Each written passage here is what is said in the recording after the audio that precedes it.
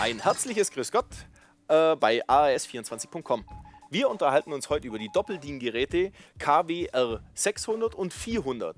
Das ist die Modellserie 2012 und ich erzähle euch einfach mal, angefangen bei KWR 400, was das Gerät kann. Das Gerät hat einen USB-Eingang auf der Front, hat einen AUX-In auf der Front und einen zweiten AUX-In auf dem Heck, so dass Sie praktisch das Gerät auch mit einem Bluetooth-Adapter und zwar mit dem KSB-TA 100 ergänzen kann. Der erfordert nämlich einen AUX-In und in dem Fall kann ich dann den hinteren AUX-In nehmen und äh, habe immer noch den vorderen frei. Damit würde dann das ganze Gerät, der KWR400, über das Bluetooth-Modul äh, verfügen und somit auch als völlige Freisprechanlage und ähm, als äh, Bluetooth-Audio-System möglich sein, sodass ich also von meinem Handy aus direkt die Musik über das Gerät wiedergeben kann, ohne dass ich überhaupt ein Kabel dazu brauche. Das Gerät an sich ist natürlich nicht mit Bluetooth ausgestattet und kann eben entsprechend nur ergänzt werden mit dem KSB T100. Diese lustige Taste mit der Sonne drauf ergibt folgendes. Wenn ihr einmal draufklickt, dann fängt das System zum Blinken an. Entweder das blinkt oder die Tasten blinken.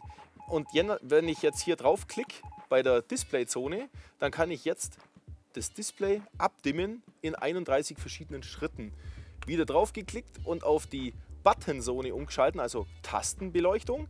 Wenn ich hier drauf klicke, kann ich dann die auch nochmal komplett dimmen und naja, meinem Geschmack halt anpassen. Die Menüfunktion, lang auf die Menütaste klicken und dann kommt als allererstes schon mal die Demo-Aufforderung.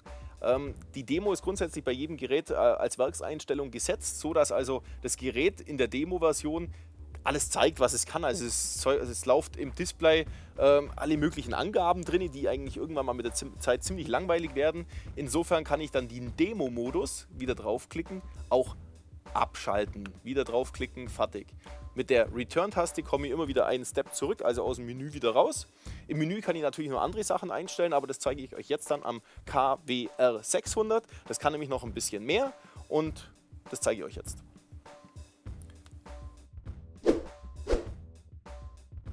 Gegenüber dem KWR 400 hat das KWR 600 noch diese Vario-Color-Einstellung. Es kann also jetzt das Display und die Tasten unabhängig voneinander äh, farblich eingestellt werden. Dazu gehen wir dann über den Menüknopf, wieder mal lang klicken und über den Lautstärkeregler suchen wir uns jetzt die Color Variante her. Und da kann ich jetzt einmal für die Button Zone, also für die Tasten oder für die Display Zone die Farbe auswählen. Jetzt sage ich hier zum Beispiel ähm, okay, jetzt habe ich, hab ich mich für die Displayzone entschieden und da kann ich jetzt dann auswählen, zum Beispiel knallrot. Dann gehe ich wieder zurück. Äh, achso, Moment mal. Äh, nein, ich muss nicht mehr Displayzone. Ich wähle mir nochmal rot aus. Ich muss es natürlich bestätigen mit dem Knopfdruck.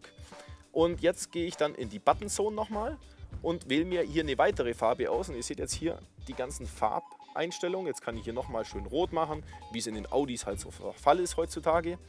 Ähm, oder äh, Gift, Grün und Rot, wer es mag. Aber ich kann es machen an dem Gerät und damit bin ich natürlich höchst flexibel, das Gerät mal ins, ins nächste Fahrzeug einzubauen, einfach umzubauen. Wir koppeln jetzt mein Bluetooth-Handy mit dem Gerät, mit dem KWR600, wo das Bluetooth bereits integriert ist.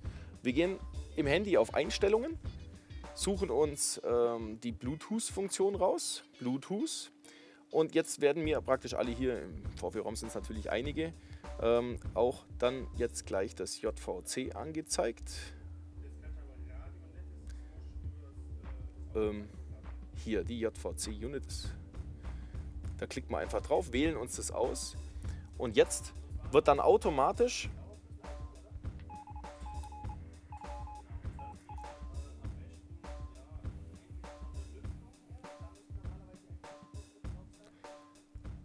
Jetzt ist mein Gerät erkannt. Jetzt sage ich hier an meinem Gerät koppeln. Ich bestätige die Zahl, die gerade hier im Display mit abgefragt wurde. Und damit bestätigen wir nochmal das Pairing, also das Koppeln der Geräte. Und jetzt zeigt schon an, JVC-Unit verbunden.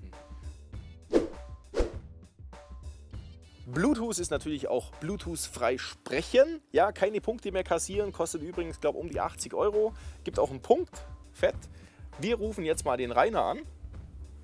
Einfach mit einer Freisprechanlage. Äh, hier, ich suche mir den Rainer raus. Der Rainer, unser Elektriker. Ähm, Rainer, wo bist du? Rainer. Rainer mit EI, da ist er ganz, ganz stolz drauf. Nummer wählen. Jetzt zeigt er hier im Display auch schon an, Dailing. Und unser Mikrofon haben wir jetzt mal hier äh, installiert. Macht man normalerweise an der Mittelkonsole oder am, am Spiegeldreieck, äh, nicht am Spiegeldreieck, am Mittelspiegel äh, fest. Und jetzt steht auch hier sogar Talking. Ja, Rainer, grüß dich. Kannst du dir vorstellen, was wir gerade im Moment machen?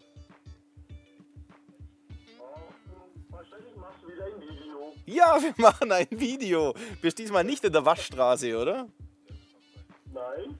Nein? Was machst du dann? Das wollen wir, glaube ich, gar nicht wissen, was du gerade machst. machst. Du tust gerade irgendwelche Rohre verlegen, mein Lieblingselektriker.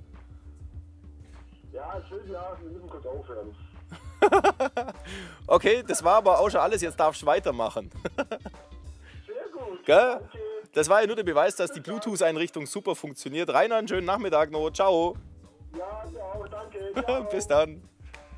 Und wieder auflegen, einfach auf die Telefontaste wieder draufdrücken. Wir schalten jetzt mal um auf Bluetooth-Betrieb. Und ich habe jetzt in dem Moment schon, wenn ich jetzt auf Bluetooth-Betrieb umschalte, habe ich praktisch den Sound von meinem äh, Apple iPhone oder, oder jedem anderen Smart Handy und kann jetzt über die Tasten vor und zurück hier den nächsten Song anwählen oder eben zurückgehen. Oder ich suche mir dann ähm, über meine verschiedenen Alben das nächste Album her und suche mir einen Song aus. Dann schaltet das Gerät hier gleich wieder um auf den nächsten Song und ich kann wiederum alles hier bedienen und habe den Sound über meine Lautsprecher vom Fahrzeug und kann natürlich laut und leise machen, die ganzen Klangfeatures vom Radio ausnutzen. Super. USB Audio. An dieser Stelle möchte ich noch mal ganz kurz anmerken, in unserem Sortiment gibt es natürlich auch diese Mini-USBs mit 4 oder 8 GB, die natürlich gerade bei solchen Front-USB-Autoradios hervorragend sind, weil sie eben nicht ewig lang abstehen und irgendwie kleine Kinder alles kaputt machen können, sondern einfach ganz wenig aufträgt und trotzdem super funktioniert und es sind sehr schnelle USB-Sticks. Findet ihr bei uns im Webshop.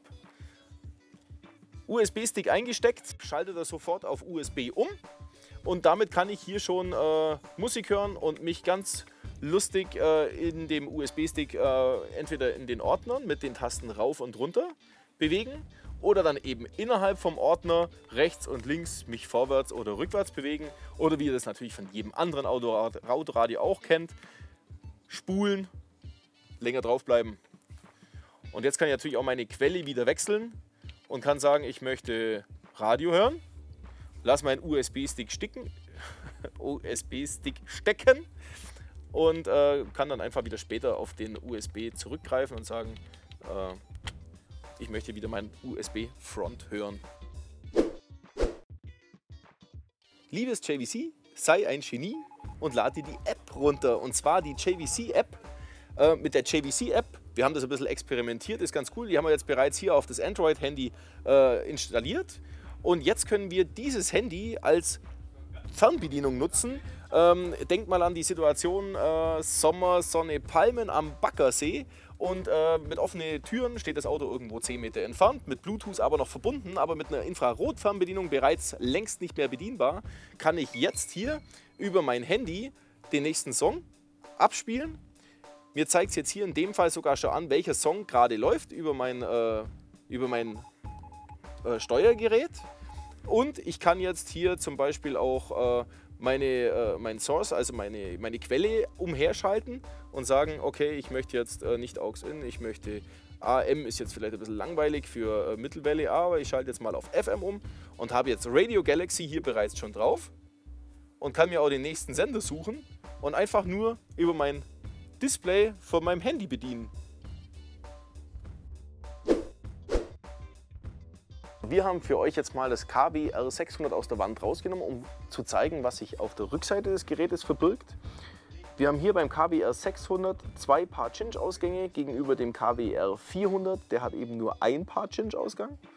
Wir haben hier einen Antennenanschluss.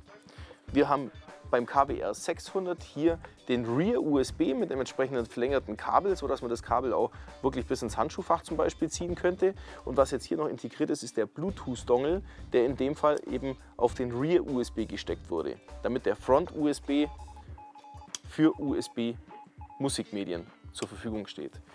Der KWR 600 hätte jetzt hier eigentlich nur noch einen AUX-In-Eingang eben für die, für die Erweiterung des Bluetooth-Modul KSB-TA 100. Beim KWR 600 haben wir noch zusätzlich den, äh, Klinken, die Klinkenbuchse hier für das externe Mikrofon, das eben auch im Lieferumfang mit dabei liegt. Das haben wir hier nochmal extra. So schaut es nachher aus. Das kann ich irgendwo installieren. Hier sind 1,5 Meter Kabel mit dabei und wird eben mit dem Klinkenstecker verbunden. Der ISO-Anschlussstecker hier mit seinen vier Lautsprecherausgängen und die Stromversorgung für das Gerät mit Dauerplus, mit Masse, mit Zündungsplus und eben Remote-Steuerung für externe Endstufen. Und was hier so alleine rumhängt, das ist extra das Kabel für externe Lenkradfernbedienungen. Wenn also das Fahrzeug, wo ich das Gerät einbaue, mit einer Lenkradfernbedienung bereits ausgestattet ist und ich ein entsprechendes Lenkrad-Interface dazu ähm, gekauft habe, das schließe ich hier an. JVCs Geräte sind also nicht nur optisch sehr ansprechend, sondern sie sind natürlich auch mit allen tollen Features und äh, up-to-date ausgestattet, klanglich hervorragend und alltagstauglich. Super zum Bedienen, selbst im Menübereich sehr ähm, schnell und gut organisiert. Und der KWR600 hat sogar noch eine Infrarot-Fernbedienung im Lieferumfang mit dabei. Ich wünsche euch viel Spaß beim Stöbern und falls ihr euch für die Geräte entscheidet, könnt uns gern für weitere Fragen anrufen auf der 08331 99 0300 oder ihr schickt uns auf info.ars24.com eine E-Mail.